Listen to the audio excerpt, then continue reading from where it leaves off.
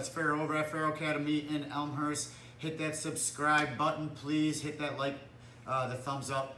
Um, that helps my channel out. Um, I'm gonna go over something that uh, I get caught in at times when you get a little careless with the baseball slide, or I wouldn't even say careless, just there's always a counter to everything. Um, this is something that uh, is a pretty cool move. So I'm gonna have him in the De La Riva, and just say, uh, let's turn this way. Just say he's going for like a baseball slide. He might stuff the leg, go a baseball slide. So as he slides, okay, I gotta beat him to the punch here.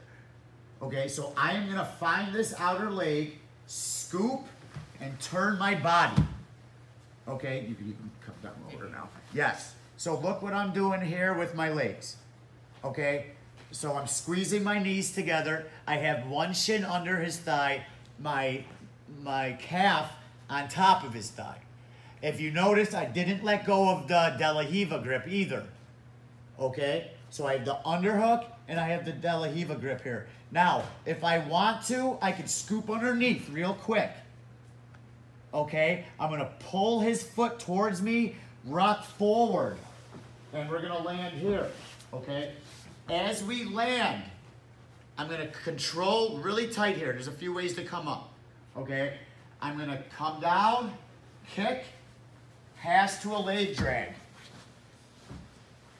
and come up on top, okay? And then we could go to the side, we could go past. Few options, so I'll, I'll go over a few of the ending options.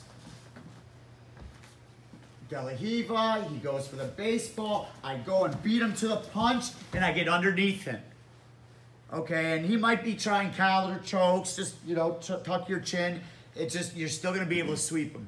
Now, you don't have to go underneath if I can't. Like, if he's doing a good job of keeping his foot coming in here and I don't want to try to get under, I'm just going to do the same thing as I'm going to pull. Okay, so now once I'm here, I'm going to lift up with my right leg put my left leg behind the shin.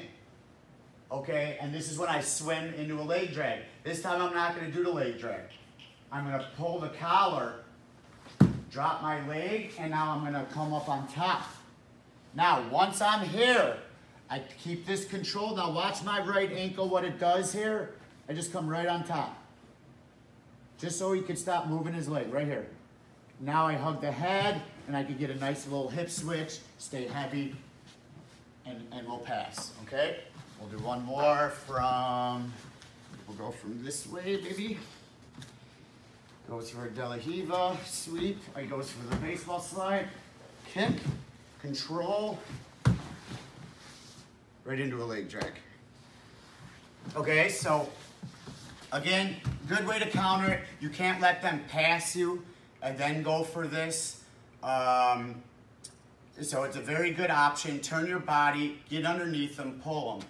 Uh, cool option. Um, so yeah, give it a try. Get yourself a Dario and give it a whirl.